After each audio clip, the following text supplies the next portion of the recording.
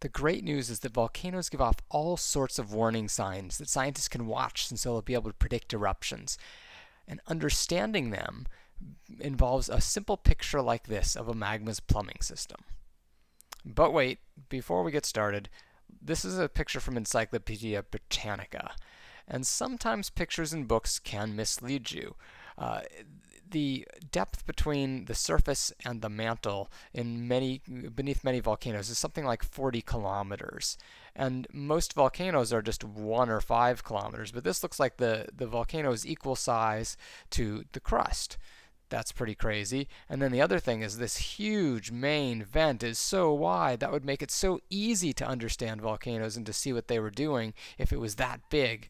But it's more like this picture that I've drawn on the right where I've taken their same colors and there's this really narrow conduit here which makes it like a needle in a haystack much more than this picture makes it look like. So we're going to use a picture like the one on the right. And here's my drawing of it using uh, slightly different colors. And as magma moves through this system, uh, rising up from the mantle into the magma chamber, through these different conduits, and eventually up to the surface, different things can happen. And all those things can leave some sort of signal behind that we're going to be able to monitor. So the first one is the easiest to think about. It is the temperature increase.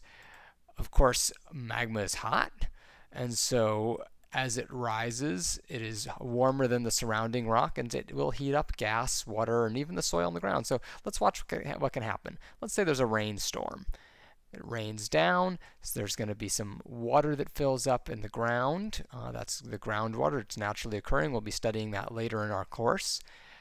And some of that groundwater might seep along through faults down until it gets into magma chambers where it will warm up.